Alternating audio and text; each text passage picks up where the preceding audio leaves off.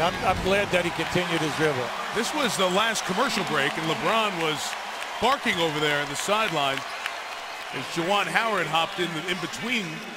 LeBron was yelling back, not sure at whom or what about. Juwan back on this team has signed a 10-day contract. He's so important